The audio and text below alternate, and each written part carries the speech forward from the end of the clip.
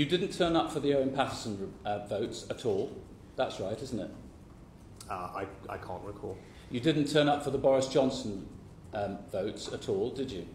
Uh, So- no, I was at a, a charity dinner for Jewish care. But yesterday you were opined on the rules of cricket. Uh, I, Take I us cho- through that. Uh, I, I chose to fulfil my obligation to an incredible charity. So the Privileges Committee has accused seven MPs of trying to undermine and impugn its work. The Leader of the House has condemned this. Do you think that they should apologise to the House? Uh, I haven't actually gone through the report yet, so. You haven't read the report. Uh, no, I haven't been through the report yet in detail. I've seen it being reported, and I've been very clear in the past that. But you asked Zac Goldsmith to apologise. Yes, because he's a So you have read it sufficiently to note that Zac Goldsmith should apologise. Yes, I've read the findings report. I haven't read the report from cover to cover, no. But it's I have read the It's about three pages long.